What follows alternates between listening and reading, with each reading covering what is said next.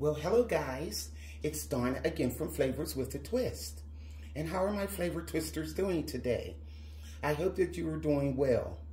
Well, guys, you know the holidays are coming and we're going to be cooking up a lot of delicious meals for the holidays. But as I put in my community post, this is one of my meals that I call eat this and get out my kitchen meals.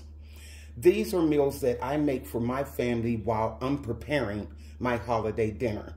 Because I don't know about y'all, but my family, they're hovering around in the kitchen. Can I taste this? It's just getting on my last nerve.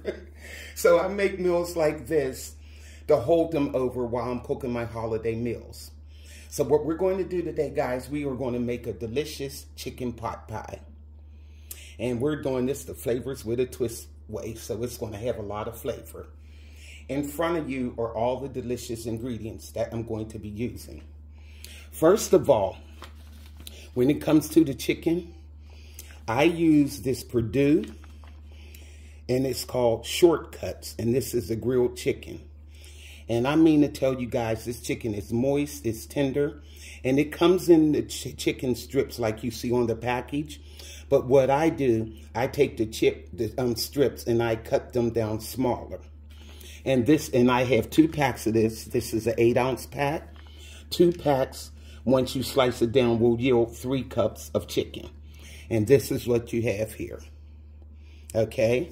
It's delicious. And I have, um, back here, I have some be, I mean, chicken broth. What I did, I took two cups of water, and I put tea, two teaspoons of this better than bouillon roasted chicken base in there. And I have some poultry seasoning, and I'm only using a half a teaspoon of poultry seasoning right here. Okay? Now, I have some Parmesan cheese. I'm using a quarter cup of that, and I have it right here. I have a cup of heavy cream.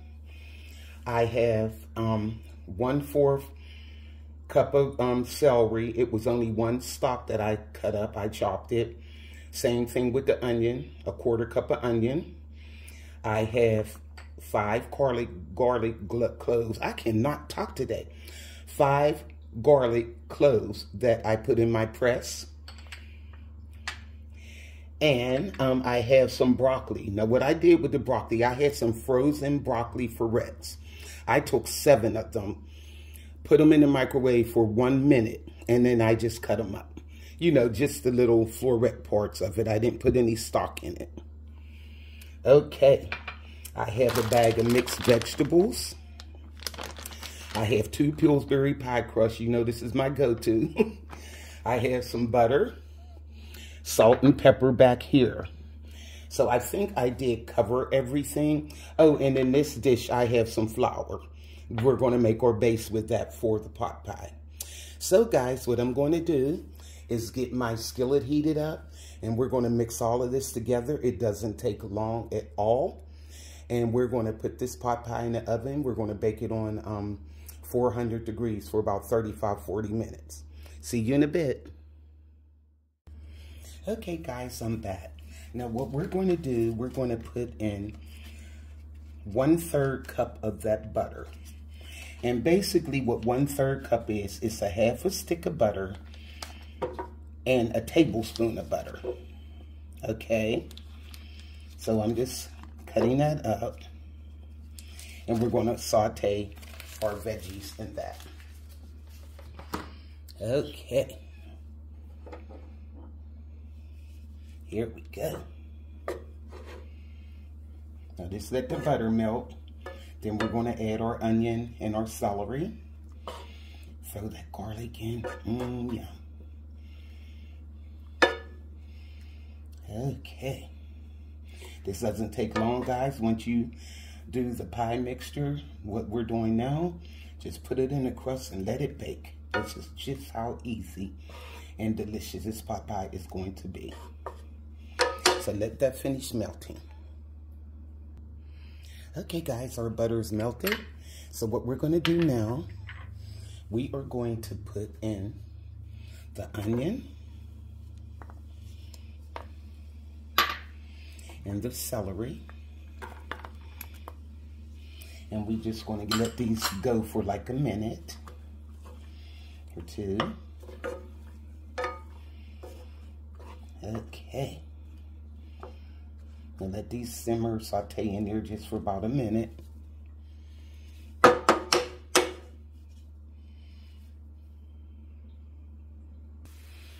Okay, guys, now this has been going like a minute. And what I'm going to do is add some of that flour in. Add the flour in. And stir that around. And this is one third cup of flour. Mmm, yum.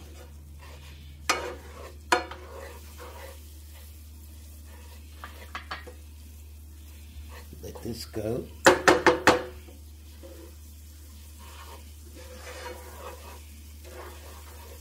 Let it cook off some of that flour flavor. This is going to be delicious. Mmm, yum.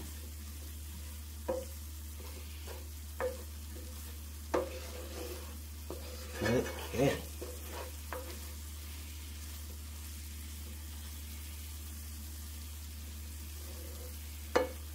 Alrighty. Now let that go for a few minutes. Keep stirring it. Okay. Now I'm going to start adding the chicken broth. Mmm, yum.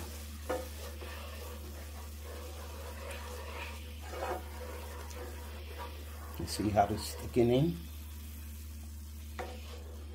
And that's what you want. Ah. Just keep stirring it around. That way you ain't got to worry about lumps or anything. It'll even out.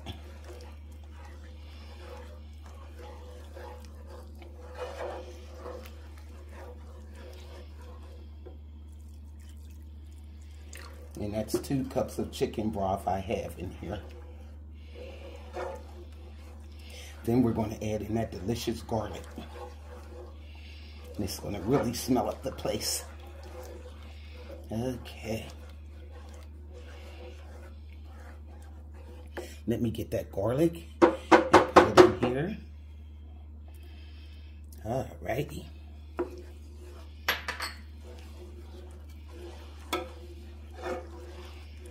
And I still have some more chicken broth, the rest of it.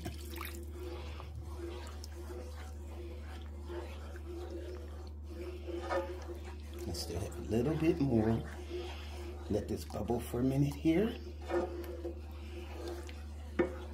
Mmm, it's gonna be delicious, guys.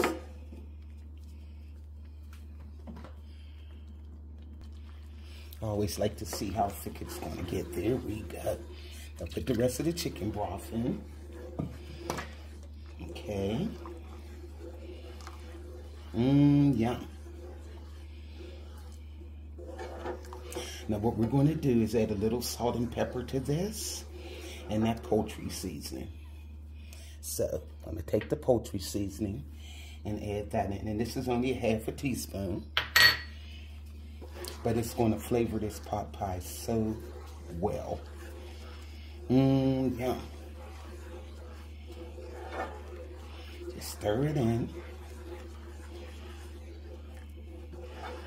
Now we're going to add our pepper and our salt. And you don't have to add a lot of salt because for one simple reason, you have that chicken broth and that can be a little salty. You don't want to over salt it.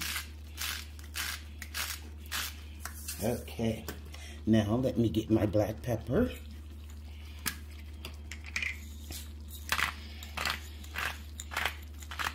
Okay.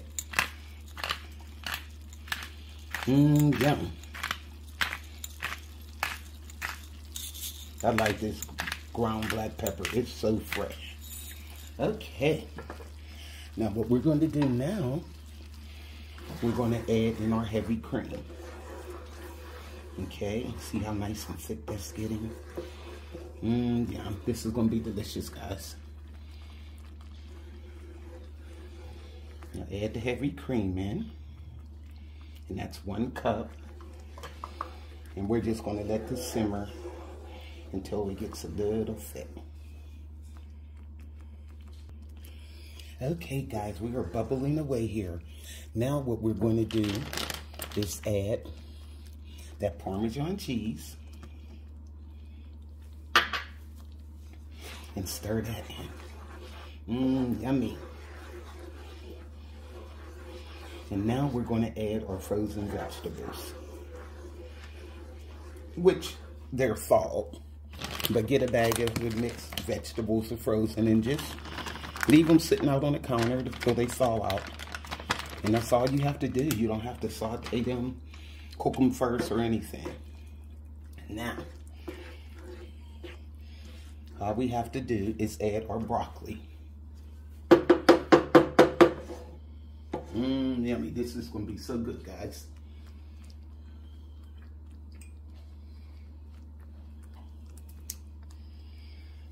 Like I said, just cut up, chop up enough, just so you can see it. You don't want to over broccoli.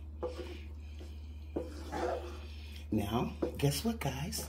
All we have to do is add our chicken and let that go, and then we'll taste it for um seasoning. Mmm, yeah, look at this. I can't wait. Taste it for salt and pepper. And like I said, this chicken is seasoned so well. It's like you could taste the salt and everything in it. When they grilled it, they really seasoned this chicken. That's why I said, guys, buy you some of those Perdue shortcuts. And they're even good for chicken salad and everything. Mmm, yum. Look at that. This is going to be our pot pie. Whoa, and I got stuff flattened down the skillet, but no problem. Okay. There's another piece of chicken in the bowl. Might as well throw him in here. Now let me taste this, and we'll see how it tastes. Mmm, yeah. I just want to taste it for salt and pepper. Mm. Oh, guys, that is so good. I'll put just a little bit more salt. It's not that much coming out this grinder at the time. Okay. And maybe just a pinch more black pepper. Okay.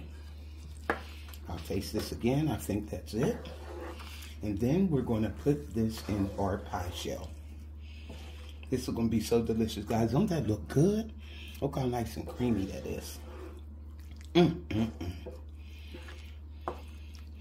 Okay, I'm to let this simmer for two minutes.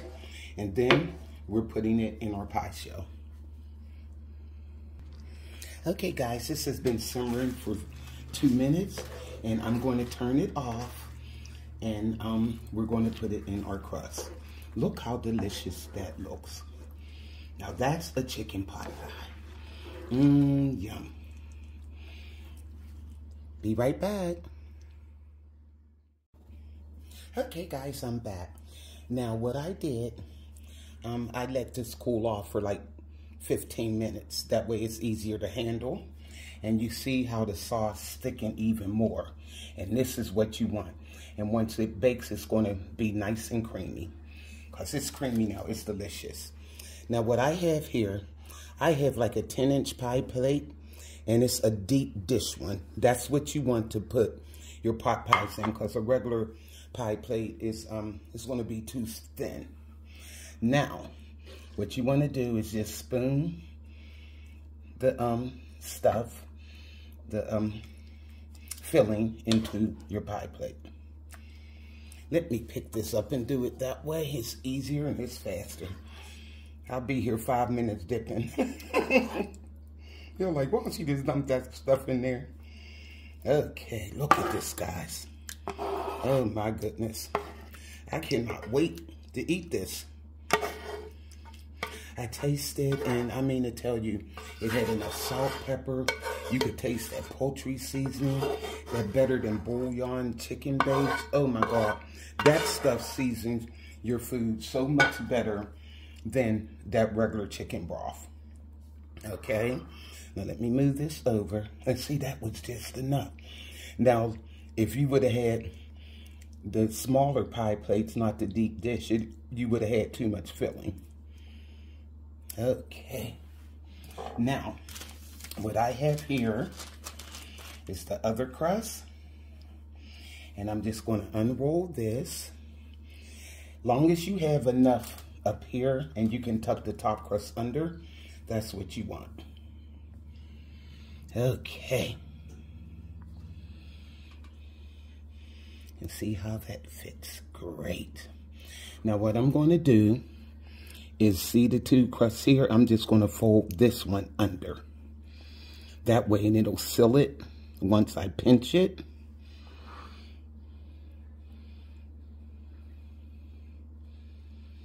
Okay. I'm not the best at this, but I make do. Let me start pinching this. I don't want it to unroll. Okay. Now I just do it like this. Instead of all that fancy stuff. Okay. Fold this under. And that way it seals it with the bottom crust. And you don't have to worry about it bubbling over too much. And we're going to also slit the top of the pie crust to vent it. Okay. And I have the oven. It's already preheated at 400 degrees. And we're going to put this in there about 35, maybe 40 minutes. But I'll tell you the exact time when it comes out. And also, do you check on your pot pie? I check on everything when it's baking. I just don't go by um, the temperatures. And that's like, um, I was cooking, what was I cooking one day? Some chicken or something. I said, well, let me just roast it. And I'm going to use the meat thermometer and do it 165 to 170, like all them chefs be saying. That stuff was not done on the inside.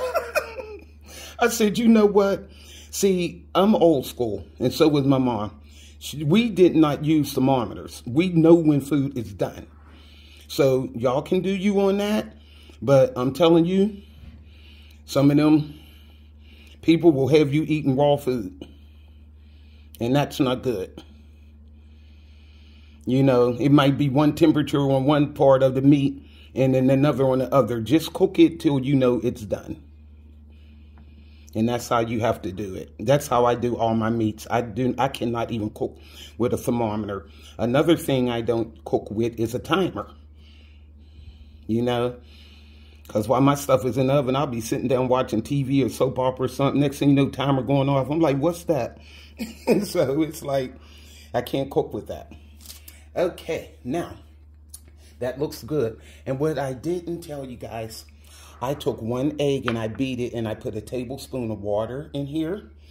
And what we're going to do is just brush the top of the pie to make it glisten. Yeah, we are. Okay. I do this with all my pies.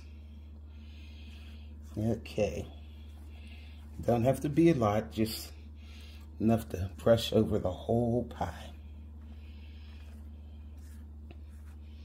And then we're going to slit the top of this baby and put it in the oven. But I am going to put this on a sheet pan. Always put stuff like this on a sheet pan, even casserole dishes. That way, I mean, it's easy to clean up. It's not, I'd rather clean the sheet pan than have to clean this out of my oven even though my oven's self-cleaning, it's still, but when it burns off, it smells so bad.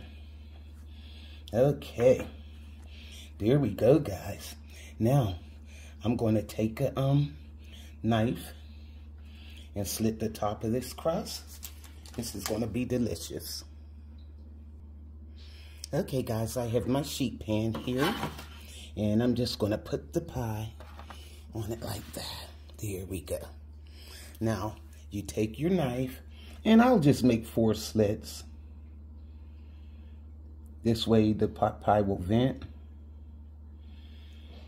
Always just do it like this.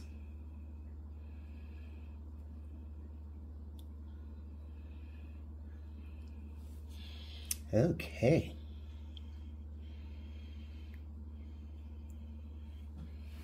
Here we go. Look at that, guys.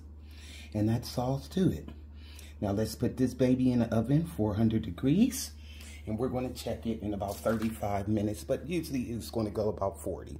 But I'll check it at 35 and see how it looks. See you then. Okay, guys, I am back. And look at our delicious pot pie.